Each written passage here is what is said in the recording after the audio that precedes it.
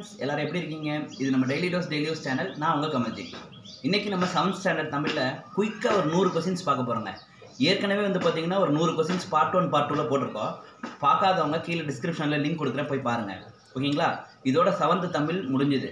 Right so ஸ்பீடாக revision ஆரம்பிக்கலாம் பாருங்கள் ஃபஸ்ட்டு கம்மியர். கம்மியர்னா யாருங்க? கப்பல் கட்டும் கலைஞர்களை தான் கம்மியர்னு சொல்லுவாங்க. கலம்சை கம்மியர் என்ற வரி இடம்பெற்றுள்ள நூல் என்னன்னா மணிமேகலை.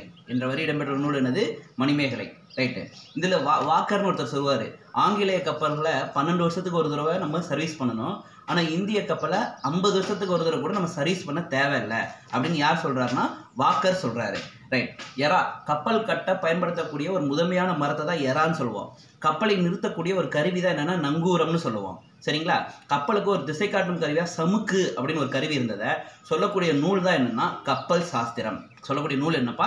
கப்பல் சாஸ்திரம். அப்போ கம்மியர்னா கப்பல் கட்டும் கலைஞர்கள் கலம்சை கம்மியர்னா மணிமேகலை ஓகேங்களா? பன்னெண்டு வருஷம் ஐம்பது வருஷம் சொன்னவர் யாருன்னா வாக்கர் எறானா முதன்மை மரம் ஓகேவா? நங்கூரம்னா கப்பலை நிறுத்தக்கூடிய ஒரு கருவி சமுக்குனா கப்பலுக்கு திசை காட்டக்கூடிய ஒரு கருவி. அதை சொன்ன நூல் என்னன்னா கப்பல் சாஸ்திரம். ரைட். களம் தந்த பொற்பரிசம் கரை சேர்க்குது. நளியீர் முன்னீர் நாவாய் ஓட்டி இதெல்லாம் இந்த கப்பல் பயணத்தை பற்றி சொல்லக்கூடிய பாடல் வரிகள். இது ரெண்டுமே இடம்பெற்ற நூல் என்ன நூல் என்னன்னு கேட்டால் Purananuru. Right next Jules Verne Jules Verne யார் தான் அறிவியல் புனைக்கதைகளோட தலைமகன்னு சொல்லுவோம். ஓகேங்களா? ஸோ அறிவியல் புனைக்கதைகளின் தலைமகன் தான் என்னன்னு சொல்லுவோம்னா ஜூல்ஸ் வென் சொல்லுவோம். இவர் நிறைய புதினங்களை எழுதியிருக்காரு. சரிங்களா? ஸோ எண்பது நாளில் பூமியை சுற்றி கடலுக்கடியில் ஒரு ஆழமான பயணம். இந்த புதினம்லாம் யார் எழுதியிருக்காருன்னா ஜூல்ஸ் வென் வந்து எழுதியிருக்காரு. ரைட் அடுத்தது திசை சொல் திசை சொல் அப்படின்றது ஃபஸ்ட்டு நம்ம இலக்கண முறைப்படி பார்த்தீங்கன்னா என்ன சொல்லுவோம்னா பெயர் சொல் வினைச்சொல் இடைச்சொல் உரிச்சொல்னு சொல்லுவோம். சரிங்களா? அதே வந்து பார்த்தீங்கன்னா இங்கே இயர் சொல் திசை சொல் திரிசொல் வட சொல்னு சொல்லுவோம்.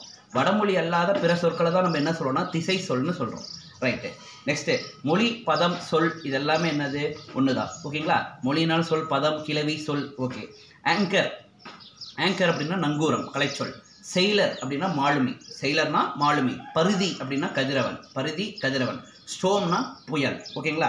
ரைட் பிசுராந்தையார்னா பிசுராந்தையார் நூல் என்ன? பாரதிதாசன் வந்து சாகித்ய அகாதமி விருது பெற்ற நூல் தான் என்னன்னா பிசுராந்தையார். ஓகே.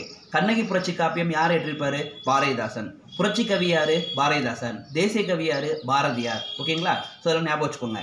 ரைட் விச்சை ரொம்ப ரொம்ப முக்கியமான ஒரு பொருள் கூறுக விச்சை என்பதன் பொருள் என்னன்னா கல்வி. கும்பி என்பதன் பொருள் என்னன்னா வயிறு. ஓகேங்களா? ரைட்டு ஸோ வைப்புலி அப்படிங்கிறதோட பொருள் என்னென்னா பொருள் சேமித்து வைக்கக்கூடிய ஒரு இடம். ரைட் நெக்ஸ்ட்டு வேளாண் வேதம் என அழைக்கப்படும் நூல் என்னப்பா? நாலடியார். நாலும் இரண்டும் சொல்கிறதுல நாலடியாரும் திருக்குறளும் கம்பேர் பண்ணுறோம் ஏன் நாலடியார் திருக்குறளோட கம்பேர் பண்ணுறோம்னா திருக்குறள் முப்பாலை உடையது.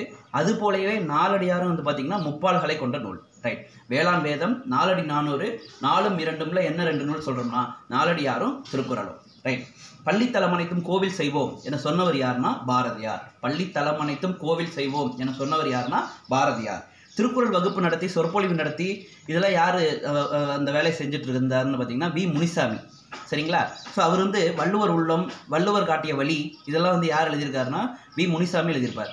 திருக்குறளின் நகைச்சுவை இந்த நூல்லாம் யார் எழுதியிருக்காருன்னா வி. முனிசாமி. ஓகேங்களா? வள்ளுவர் உள்ளம் வள்ளுவர் காட்டிய வழி திருக்குறளின் நகைச்சுவை. இதெல்லாம் யார் எழுதியிருக்காருன்னு பார்த்தீங்கன்னா வி. முனிசாமி. ரைட் உலக பொதுமுறை திருக்குறள் உரை விளக்கம் அப்படிங்கிறது இவருடைய புகழ்பெற்ற நூல். உலக பொதுமுறை திருக்குறள் உரை விளக்கம். ரைட் நெக்ஸ்ட் கனவு அப்படிங்கிற ஒரு இலக்கிய இதழை நடத்தினவர் தான் யாருன்னு பார்த்தீங்கன்னா சுப்ரபாரதி மணியன். கனவு என்னும் இலக்கிய இதழை நடத்தினவர் யாருன்னா சுப்ரபாரதி மணியன். இவர் பின்னல் வேட்கை தண்ணீர் யுத்தம் கதை சொல்லும் கலை புத்துமண் இந்த நூல்கள்லாம் ஏற்றிருக்காரு. ஓகேங்களா பின்னல் வேட்கை கதை சொல்லும் கலை புத்துமண் ஓகேங்களா இந்த வேட்கை இந்த நூல்கள்லாம் யார் ஏற்றிருக்காருன்னா இந்த சுப்ரபாரதி மணியன் ஏற்றிருக்காரு. அவருடைய இதழ் தான் வந்து பார்த்தீங்கன்னா கனவு. கனவு என்னும் இலக்கிய இதழை யார் நடத்துறாருன்னு கேட்டிங்கன்னா சுப்ரபாரதி மணியன். ஓகே நெக்ஸ்ட்டு ஓரெழுத்து ஒரு மொழி ஓரெழுத்து ஒரு மொழி படி நன்னூலார் வந்து என்ன சொல்கிறாருன்னா நன்னூலில் வந்து நன்னூலில் ஓரெழுத்து ஒரு மொழி நாற்பத்தி ரெண்டுன்னு சொல்கிறாங்க நன்னூல் ஏற்றியது யார்? பவனந்தி முனிவர். ஓகேங்களா? ஸோ ஓரெழுத்து ஒரு நன்னூலின் படி ஓரெழுத்து ஒரு மொழிகளின் எண்ணிக்கை நாற்பத்தி ரெண்டு குறில் எழுத்துக்கள் ரெண்டு நெடில் எழுத்துக்கள் நாற்பது சரிங்களா? ரைட் இதில் முக்கியமானது பாருங்களேன் கூனா பூமி. ரைட்டு பே அப்படின்னா என்ன சொல்லுவாங்க? மேகம். நோ அப்படின்னா நோய். ஓகேங்களா? நோ அப்படின்னா நோய். பைனா இளமை.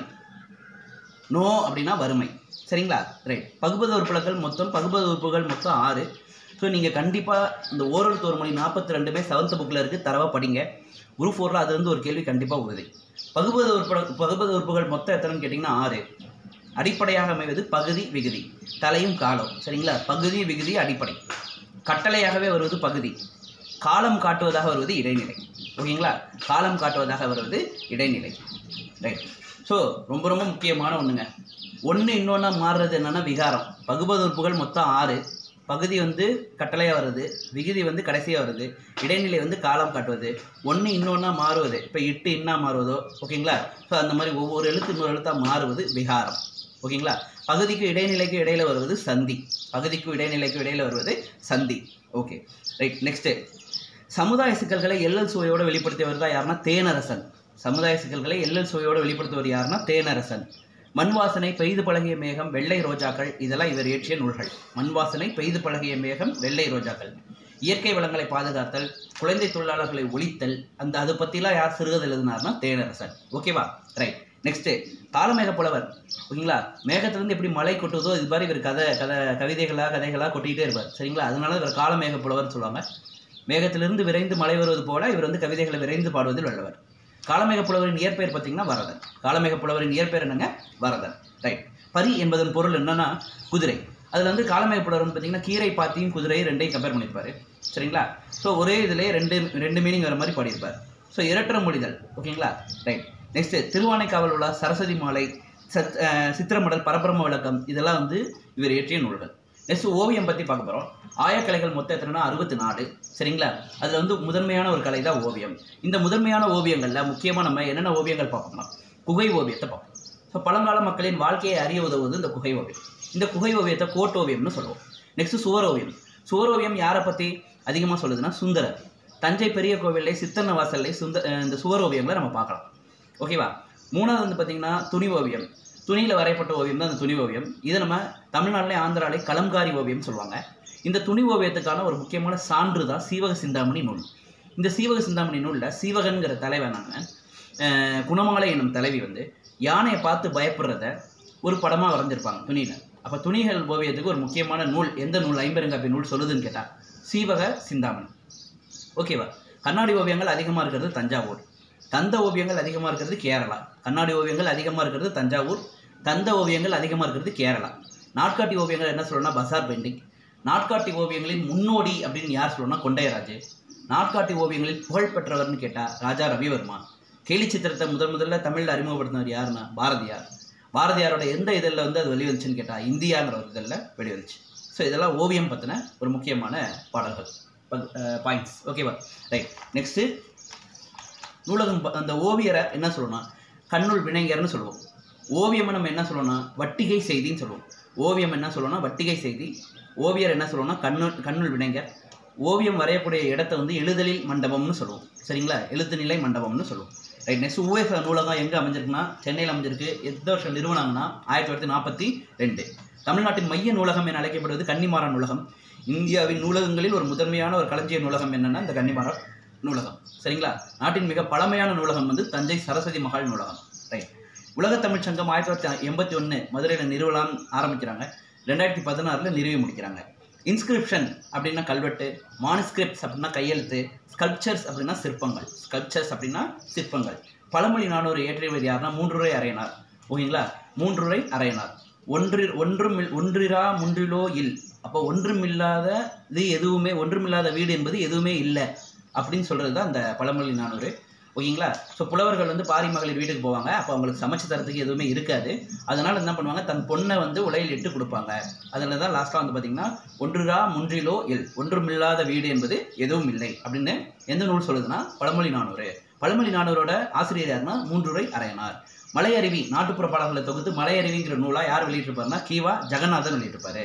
குழி அப்படிங்கிறது நில அளவை பெயர். ஜான் என்பது நீட்டல் அளவை பெயர். ஓகேங்களா? சும்மாடு அப்படிங்கிறது தலையில் பாரத தங்க கட்டக்கூடிய ஒரு துணிச்சுருள். அதுதான் என்ன சொல்லணும்னா சும்மாடுன்னு சொல்லுவோம். ரைட் நெக்ஸ்ட் திருநெல்வேலி பாருங்க. திக்கெல்லாம் புகழரும் திருநெல்வேலி சொன்னவர் யாருன்னா திருஞான சம்பந்தர். ஆண் அப்படின்னா அமராவதி. தன்புரணை அப்படின்னா தாமிரபரணி. ஓகேங்களா? அப்போ திக்கெல்லாம் புகழரும் திருநெல்வேலின்னு சொன்னவர் திருஞான சம்பந்தர். தன்புரணை புனல் நாடுன்னு சொன்னவர் சேக்கிலார். ஓகேங்களா? அதாவது தாமிரபரணியானது திருநெல்வேலிக்கு வளம் சேர்க்குது அப்படின்னு யார் சொல்கிறாரு சேக்கிலார் சொல்கிறார் ஓகேங்களா? அதாவது தன்பொருணை புனல் நாடு. தன்பொருணை எனப்படுவது தாமிரபரணி. அதே ஆண் எனப்படுவது என்னன்னு கேட்டிங்கன்னா அமராவதி. ஆண் பொருணை என அழைக்கப்படுவது அமராவதி. ஓகேங்களா? ஸோ வீடியோ கொஞ்சம் ஸ்பீடாக போகிற மாதிரி தாங்க இருக்கும். ஏன்னா இது ஒரு ரிவிஷன் சரிங்களா? நீங்கள் ஏழாவது நல்லா படிச்சுட்டு இந்த மைண்டில் நல்லா ஹெட்செட் போட்டு இந்த இந்த நான் சொல்கிற பாயிண்ட்ஸ்லாம் கேட்டிங்கன்னா அப்படியே உங்களுக்கு ஃபுல்லாக ரீகால் ஆகிற மாதிரி இருக்கும். சரிங்களா? ஸோ நல்லா படிச்சுட்டு இந்த வீடியோவை கேளுங்க. ரைட் தன்பொருணை என அழைக்கப்படும் மாறு என்னன்னு கேட்டிங்கன்னா தாமிரபரணி ஆண்பொருணை என அழைக்கப்படும் மாறு என்னன்னா அமராவதி. திக்கெல்லாம் போலரும் திருநெல்வேலின்னு சொன்னவர் திருஞான சம்பந்தர். தன்பொருணை புனல் நாடுன்னு சொன்னவர் சேக்கிலார். நுண்துளி தூங்கும் குற்றாலம் என குற்றால வளத்தின் அருமைகளை சொன்னவர் யாருனாலும் திருஞான சம்பந்தர். ஓகேங்களா? நுண்துளி தூங்கும் குற்றாலம் அப்படின்னு குற்றால வளத்தை பற்றி சொல்கிறார் ரைட் திருநெல்வேலியில் மிக சிறப்பான தொழில் என்னென்னா உழவு தொழில். ஓகேவா? நெல்லிக்காய் உற்பத்தியில் முதலிடம் வகிக்குது. நெல்லிக்காய் உற்பத்தியில் முதலிடம் வகிக்குது. ரைட்டு. நெக்ஸ்ட் அக்கசாலைன்னு ஒரு சாலை இருக்கு. அணிகலன்களும் ஆபரணங்களும் விளைவிக்கக்கூடிய ஒரு இடம். ஓகேங்களா? பேட்டைன்னு இருக்கு. அது வந்து தொழில் மையம். பேட்டை என்னன்னு பார்த்தீங்கன்னா தொழில் மையம். காவற்புரை தெருன்னு இருக்கு. சிறைச்சாலைகள் நிறைந்து காணப்படக்கூடிய இடத்தை தான் அந்த காவற்புரை தெருன்னு சொல்லுவோம். அருணகிரிநாதர் என்ன நூல் எழுதியிருப்பாருன்னா திருப்புகழ். காவடி சிந்தின் தந்தை யாருன்னா அண்ணாமலையார். காவடி சிந்தின் தந்தை யாரு? அண்ணாமலையார். ஓகேங்களா? ஸோ ரொம்ப ரொம்ப முக்கியமான பாயிண்ட்ஸ் இது. எல்லாமே டக் டக் டக்குன்னு நோட் பண்ணிகிட்டே வாங்க. குற்றால குறவஞ்சி யார் எழுதியிருப்பாரு? திரிகுட ராசப்ப கவிராயர். அதான் வானரங்கள் கவி கொடுக்கும் மந்தியோடு கொஞ்சம் அப்படின்ற ஒரு பாடல் வரி இடம்பெற்ற நூல் குற்றால குறவஞ்சி. ஓகேங்களா? வானரங்கள் கனி கொடுக்கும் மந்தியோடு கொஞ்சம் குற்றால குறவஞ்சியில் இடம்பெற்றிருக்கு. இந்த குற்றால குறவஞ்சியோட ஆசிரியர் தான் திரிகூட ராசப்ப கவிராயர் ரைட்டுங்களா? ரைட். ஸோ இந்த இந்த தெருக்கள்லாம் நம்ம பார்க்கலாம். நெக்ஸ்ட் இரட்டை நகரங்கள்னு ரெண்டு நகரங்களை சொல்கிறோம் ஒன்று திருநெல்வேலி இன்னொன்று பாளையங்கோட்டை. தென்னிந்தியாவின் ஆக்ஸ்போர்ட் என அழைக்கப்படுவது என்னென்னா பாளையங்கோட்டை. ஸோ இதில் வந்து பார்த்தீங்கன்னா இந்த திக்கெல்லாம் போலும் திருநெல்வேலியே இதய ஒளி அப்படிங்கிற ஒரு நூல்லேருந்து வந்திருக்கோம். இந்த இதய ஒளிங்கிற நூலை யார் யார் எழுதியிருப்பாருன்னா டிகேசி எழுதியிருப்பார். டி கே சிதம்பரனார் எழுதியிருப்பார். சரிங்களா? ஸோ கடித இலக்கியத்தின் முன்னோடி வளர்தமிழ் ஆர்வலர் குற்றால முனிவர் இதெல்லாம் நம்ம யாரை சொல்கிறோம்னா டிகேசியை சொல்கிறோம் ரசிகமணி இந்த நாலு பேர் மறந்தாய். வளர்தமிழ் ஆர்வலர் குற்றால உரி குற்றால முனிவர் கடித இலக்கியத்தின் முன்னோடி ரசிகமணி. இந்த நாலுமே யாரை சொல்கிறோன்னா டிகேசியை சொல்கிறோம் சரிங்களா? டி கே சிதம்பரனாருங்கிறது தான் இவரோட பேர். தமிழோட தம்மோட வீட்டில் வட்டத்தொட்டி அப்படிங்கிற ஒரு அமைப்பை ஏற்படுத்தி ஒரு இலக்கிய மாநாடு நடத்தினவர் தான் இந்த டி கே சிதம்பரனார். ஓகேங்களா? ஸோ இதெல்லாம் ரொம்ப முக்கியமான ஒரு சில பாயிண்ட்ஸ் ரைட் கவிமணி இருக்கார் இல்லைங்களா? தேசிக விநாயகனார். அவர் முப்பத்தாறு வருஷம் வந்து ஆசிரியராக இருந்திருப்பார். அவரே தமிழை நல்லா கை பயின்ற இடம் எந்த இடம்னு கேட்டால் திருநெல்வேலி தான். ஸோ இதெல்லாம் ரொம்ப ரொம்ப முக்கியங்க. ஸோ டக்கு டக்குன்னு முடிச்சுட்டே வந்துட்டோம். அவ்வளோதான் இரிகேஷன் அப்படின்னு என்னங்க? நீர்ப்பாசனம். கல்டிவேஷன் அப்படின்னா என்னங்க? பயிரிடுதல். அக்ரானமி அப்படின்னா என்னங்க? உளவியல். அதே அஸ்ட்ரானமி அப்படின்னா என்னங்க? வானியல். சரிங்களா? அஸ்ட்ரானமி அப்படின்னு என்னது? வாலியல். வானியல். மானுஸ்கிரிப்ட்ஸ்னு என்ன சொன்னோம்? கையெழுத்து. இன்ஸ்கிரிப்ஷன்ஸ்னு என்ன சொன்னோம்? கல்வெட்டு. ஓகேங்களா? மறந்துடாதீங்க. கலைச்சல்லாம். வையமே தகலியாக வார்க்கடலை நெய்யாக. ஓகேங்களா? இது யார் பாடியிருப்பார்னா? பொய்கை ஆழ்வார். பொய்கை ஆழ்வார் வந்து காஞ்சிபுரத்தில் உள்ள திருவக்கால பிறந்திருப்பார். ஆழ்வார்கள் பன்னீர் ஆழ்வார்கள் இருப்பாங்க. அந்த பன்னீர் ஆழ்வார்களில் முதல் திருவந்தாதி யாருடையதுன்னா? பொய்கை ஆழ்வார். ஸோ நம்ம எப்போவுமே ஃபஸ்ட்டு எடுத்த உடனே பொய் சொல்லக்கூடாதுன்னு ஞாபகம் வச்சுக்கோங்க. அப்போ முதல் திருவந்தாதி தான் பொய்கை ஆழ்வார் ஓகேங்களா?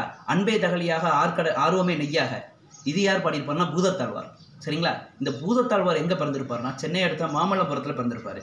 இவருடைய பாடல் வந்து இரண்டாம் திருவந்தாதியில் இருக்கும். பன்னீர் ஆழ்வார்கள் பாடிய பாடல்களின் தொகுப்பு தான் நாலாயிரம் திவ்ய பிரபந்தம். இந்த நாலாயிரம் திவ்ய பிரபந்தத்தை யார் தொகுத்தவர்னு கேட்டால் நாதமுனிகள். சரிங்களா? ஸோ ரொம்ப ரொம்ப முக்கியங்க. தேவாரத்தை தொகுத்தவர் யாருன்னா நம்பியாண்டார் நம்பி. அதை மறந்துடக்கூடாது.